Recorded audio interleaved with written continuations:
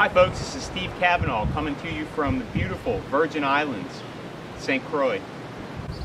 I've been here for a week now and I'm just really starting to settle into my groove here where I'm just starting to relax and forget about the day-to-day -day operations of my existing businesses.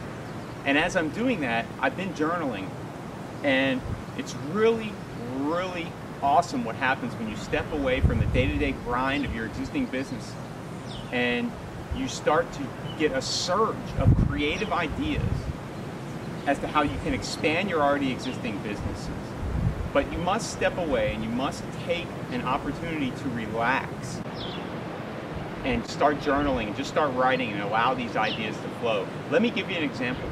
I just came up with three easily implementable ideas that once implemented into my business will create an additional 48 dollars per month of income.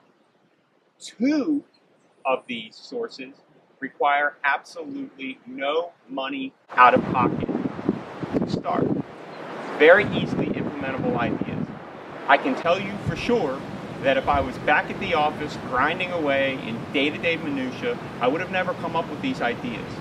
So my point is that whether you're in St. Croix or whether you are at home or in your office, you can take some time off, set, set an hour a day or an hour a week aside where you don't do anything, where you're not answering your phone, where you're not behind your computer, where you're not bothered by day-to-day -day operations of your existing business, and allow yourself to have a period of creativity. And if you do this regularly, a very, very powerful thing for you just make sure that when you come up with ideas that you write them down.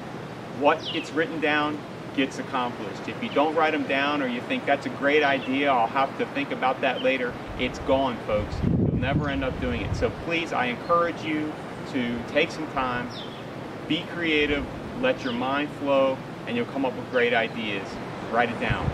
Thanks for listening, and good luck to you.